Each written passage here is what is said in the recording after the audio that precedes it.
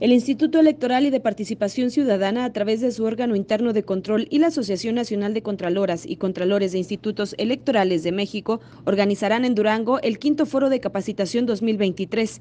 Este evento reunirá a las y los contralores de los organismos públicos locales electorales de todo el país.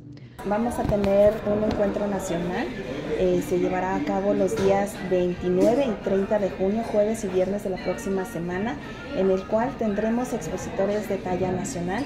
Eh, me gustaría precisar sus nombres. Eh, el día jueves 29 de junio estará con nosotros el doctor Miguel Ángel Mesa Carrillo, magistrado del Tribunal Superior de Justicia de la Ciudad de México. Por su parte, Isolda del Rosario González Cisneros, quien es presidente de la Asociación Nacional de Contraloras y Contralores de Institutos Electorales de México, manifestó que este quinto foro nacional se contará con la participación de importantes ponentes nacionales, líderes en el ramo de la disciplina financiera, transparencia y rendición de cuentas. Los expertos estarán aportando desde sus ponencias conocimientos, actualización y reflexiones sobre la labor de los órganos de control interno en los institutos electorales de México.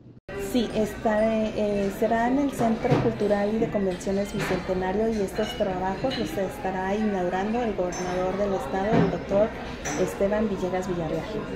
Eh, bueno, al día de hoy tenemos ya confirmados 22 estados que estarán con nosotros.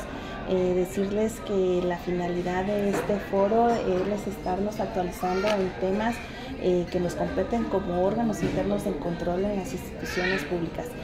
La presidenta de la Asociación Nacional de Contralores informó que en este magno evento se podrá contar con la presencia de algunas personalidades como la doctora Carla Humphrey Jordan, quien es consejera del Instituto Nacional Electoral, el doctor Santiago Nieto Encargado del despacho de Procuraduría General de Justicia del Estado de Hidalgo, y el doctor Jorge Alberto Alatorre Flores, quien es presidente del Comité de Participación Ciudadana y del Comité Coordinador del Sistema Nacional Anticorrupción, entre otros.